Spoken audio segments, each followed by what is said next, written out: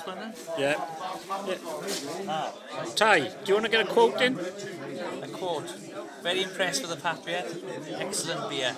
And a big tip for the future, get your money on Portbeath Town for the third division title. Right. Welsh League. This is Ty's pint, and what are you drinking, Ty? Rhymney Bitter. And I've got the Rhymney Export. And we both want the glasses. They're really good. They are. If I had a bigger pocket, I'd take one with me. Not that we're encouraging doing that sort of thing. Uh, quick look at the bar, still no sign of the good doctor. Apparently he's not bringing a coat.